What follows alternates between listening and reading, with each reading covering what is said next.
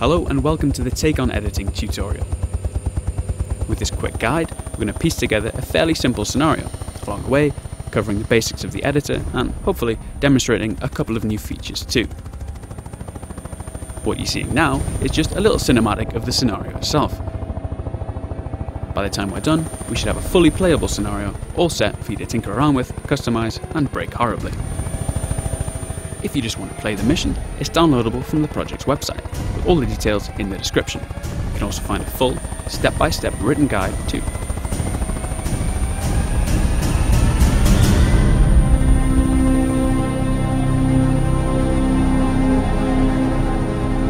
Well, wasn't that just lovely?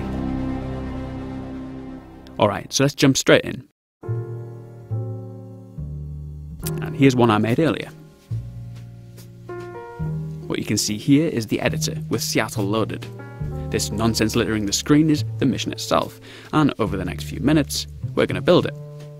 Let's clear it away now by starting a new one. And the first thing I'll do is save our new scenario. Enter a suitable name, and click OK. So, this scenario is now saved to your user profile. This is created by default in your documents, but like me, you may have created a new profile. Let's quickly jump out of the game and I'll find it. My documents, take on helicopters of the profiles, never mind the pawn, there's my profile, missions, and there it is. Okay, back to the game. The first thing we'll do is create the heliport.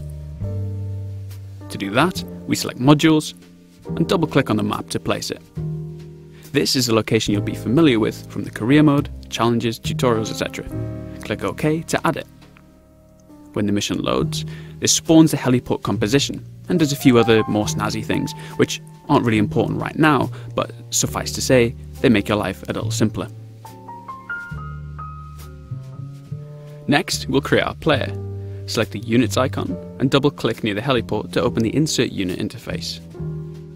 We choose our player by setting side, civilian, faction, story, class, people, and unit, Tom Larkin, helicopter pilot. In the variable name field, enter HSIM player. Basically, this will assign an identity to the unit, which, again, while useful for a number of things, isn't essential to learn about right now. Click OK to place. Next, we'll add a helicopter. Again, with unit selected, double click to place. I'll pick an empty heavy helicopter, setting side, empty, class, helicopters heavy, and unit, Larkin Aviation. We needn't be too precise about where to place it, as the heliport module will set up the positions for us. Next, we need to link up the chopper with the player and the heliport. To do that, we select the synchronize icon. Click and hold on where we place the heliport module, drag your cursor to the helicopter, and release. So, here we've connected up the game's logic, telling the heliport that this is the default helicopter that we want the player to fly. Next we'll place a ship, scroll across to somewhere in Elliott Bay, select the unit icon, and double click. We'll add an empty ship, selecting side, empty, class, ships, and unit, cargo ship, empty, blue, or whatever colour. We can change the orientation of the ship by clicking and holding the left mouse button on it, holding the shift key, and moving the mouse around. Now is a good time to preview the mission, so I'll save and click preview. We start at the heliport in our heavy helicopter, and we can see a ship placed a little bit further out in Puget Sound. If we're lucky, we'll spot ambient boats, air traffic, maybe the odd whale, which is created automatically by the heliport module. Okay, diving back into the editor, next we'll place a container crate for us to sling load. With the unit icon still selected, double click nearby the ship.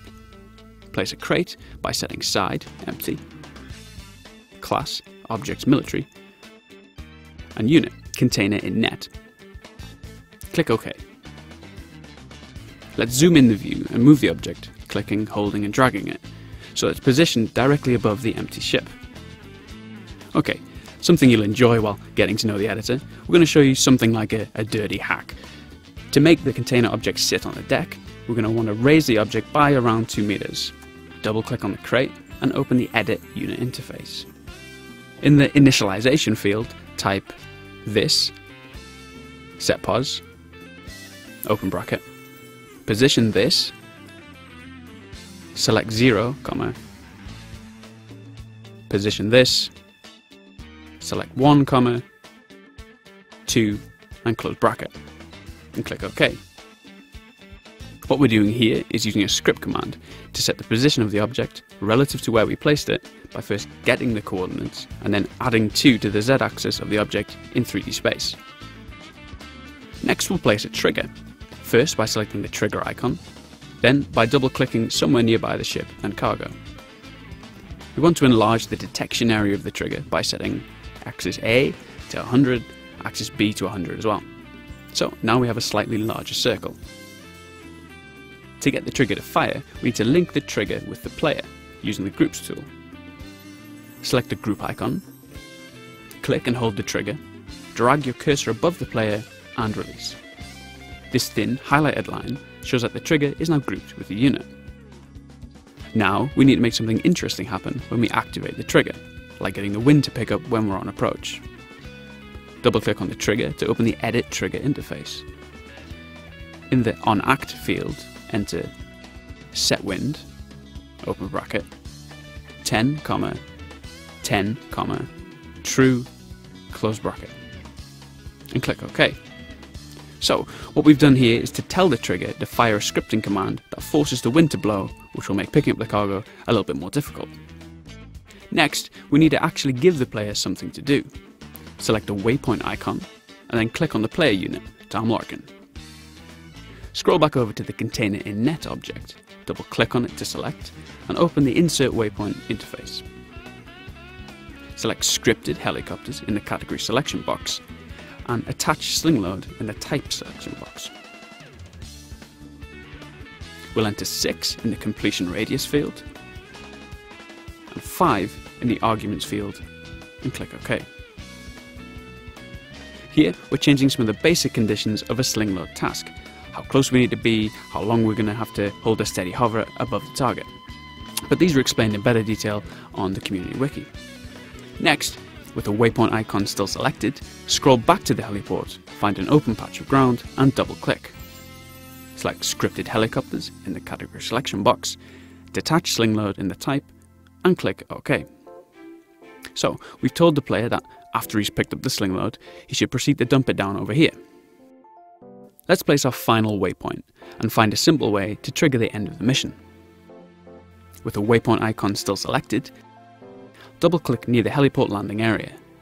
Again, select Scripted Helicopters in the category selection box and pick Land in the selection type box.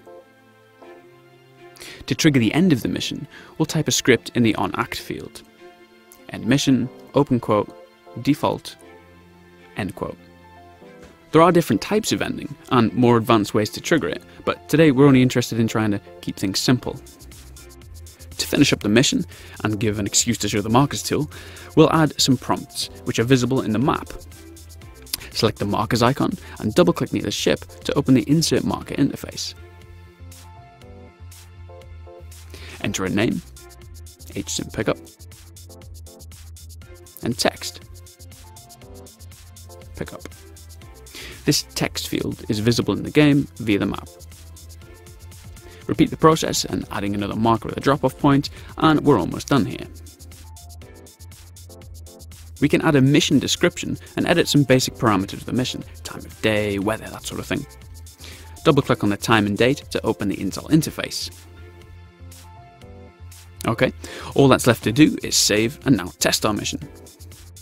Well, that's it for this guide. I hope you found it informative and are inspired to take on the challenge of making your own monstrous creations in Take on Helicopters. Bye for now.